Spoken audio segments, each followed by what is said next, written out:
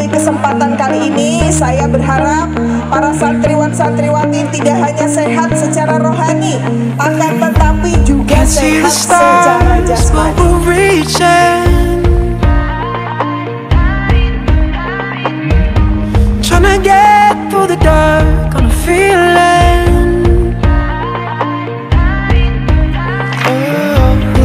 gravity.